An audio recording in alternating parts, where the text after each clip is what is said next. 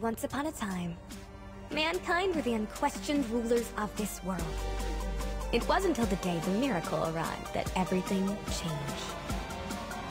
The divine power spread across the land like wildfire, bestowing magnificent abilities to the chosen ones. And in its wake, unimaginable death and destruction was left. Heroes rose from the ashes to protect mankind's remaining cities. There's still a glimpse of hope.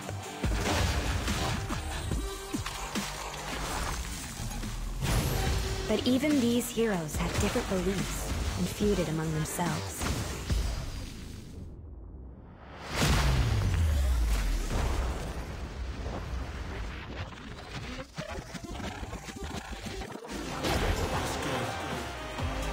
Battles, they're just normal human beings.